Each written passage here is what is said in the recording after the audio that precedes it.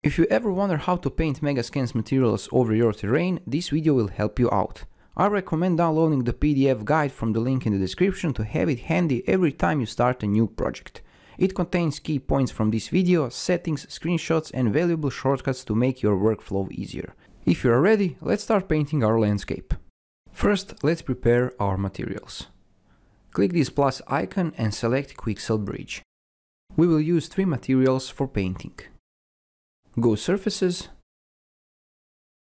Ground, and over here choose three materials you wish to use to paint your landscape. I'll use these three materials. If you want, you can change the quality over here.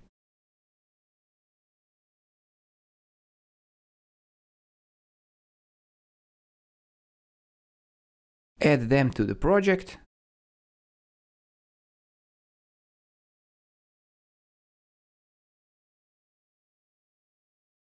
If you hit Ctrl plus space, you'll open the content drawer or content browser. And if you go to Content, Megascans, Surfaces, you will see your downloaded materials. This Megascans folder will show up when you download content from Quixel Bridge and it will store all your Megascans assets so you can easily find them. Now go File and click New Level. Select Basic and click Create. When you create level like this, make sure to save it right away. Click File and save the current level. And name it as you wish. Now select Landscape from the drop-down menu or press Shift 2. Over here make sure to have this Enable Edit Layers selected. This will allow us to work with landscape layers so we can easily delete or change parts without affecting the whole landscape. As for other settings, you can leave them as it is. Click Create. And the next step is to create a landscape material. It's worth noting that any random material can be used with a landscape. But landscape-specific material provides some nodes that can help improve the textures or in this case allows us to paint with layers. If you want to learn more about materials, you have a link in the description that will lead you to the official Unreal Material Guide or feel free to check my other tutorials. To create landscape material, go to your content browser. Select desired folder and right-click and select material. Name it and double-click it to open it. Now open the content drawer and navigate to the Megascans folder. Over here select one of your materials and drag textures from it to the graph. Use Ctrl plus left mouse click to select them all and sort textures as you see fit. I'll sort them like this. Base color, normal map and masks. This is the important part. Select all textures and on the left side under the sampler source make sure that you select Shared Wrap. This is important because it will allow us to use more textures in our material. The next step is to make material attributes. Right click and type in make material attributes.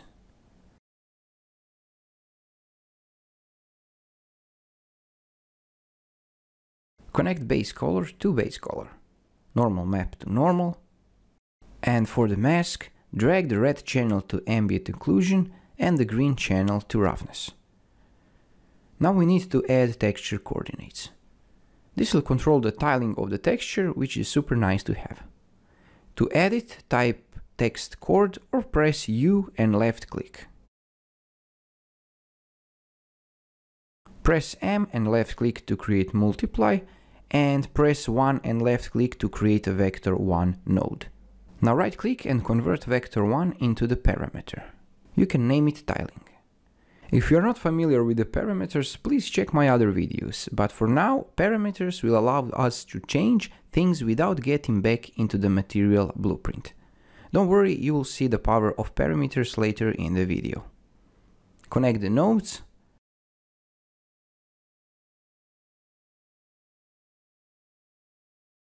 and don't forget to apply and save everything. Now we want to do this for all other textures we have. It's simple, just select the texture and hit Ctrl plus C to copy and Ctrl V to paste. Open the content drawer. You can dock it in a layout to better see the properties. Now select the first texture and make sure it's selected. Go to the second material that we downloaded. Select the first texture. Now click Use selected asset from the content browser. This will replace the selected texture. Now select the normal map and replace it with the second one.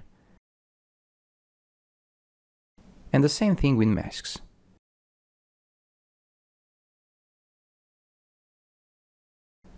Don't forget to save your project, just in case.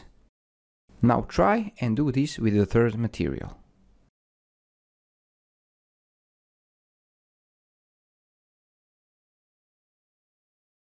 Select the textures and replace them with our third material.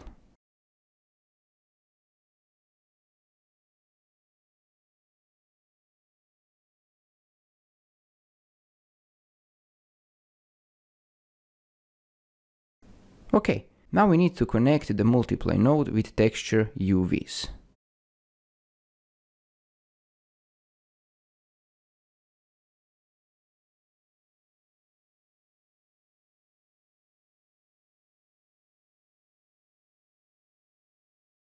You can comment on sections to make them more readable. Just select the textures and hit C on your keyboard and name it accordingly.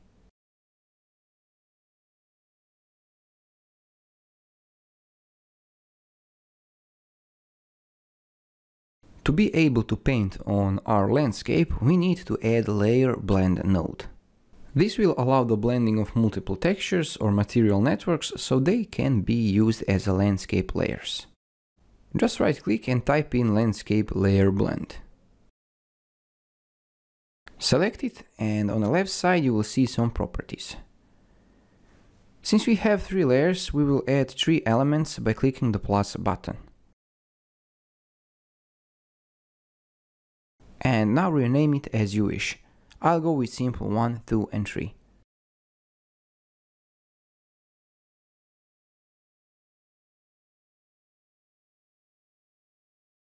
Just connect the base color to the layers you created.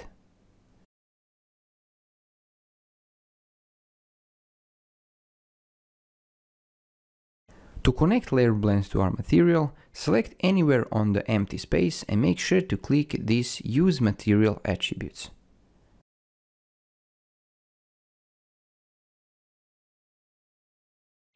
And now you can connect it easily. And don't forget to apply and save your work. To use this, first let's create a material instance. For those who are unfamiliar with the instancing, Unreal Engine says Material instancing is used to change the appearance of a material without incurring an expensive recompilation of the material. In normal language, it means that we can change our material as we want and save time and computer resources. To create an instance, go to your content folder where you created material. Right click on it and select create a material instance.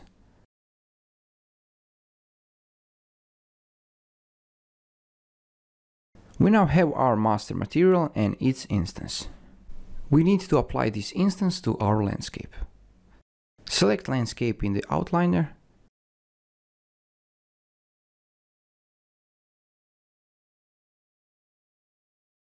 and under landscape material choose our landscape instance.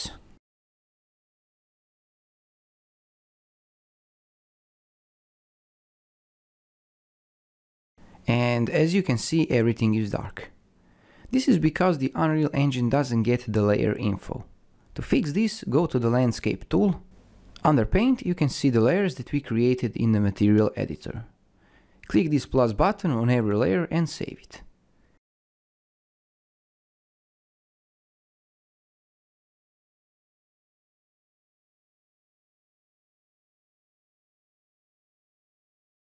If you select your layer, you can paint with it.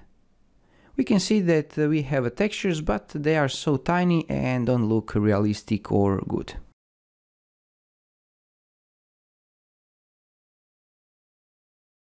To change that, go to your content and over here open the material instance.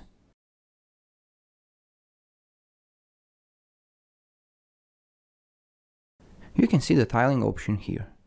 If you remember, this is the parameter that we created earlier. And now if you change numbers, we can easily change the size of the texture. This is called material instancing, where we change things without touching the original material. To paint over the landscape, select the layer and just paint it.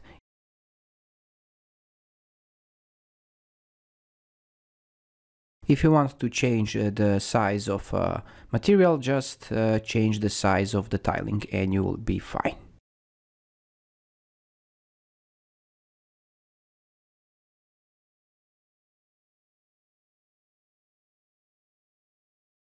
If you find this tutorial helpful, drop some comments below or subscribe to get notified about a new tutorial every week. And be sure to take it slow, don't worry and keep learning because the Unreal Engine is awesome. See you in some other video, bye bye.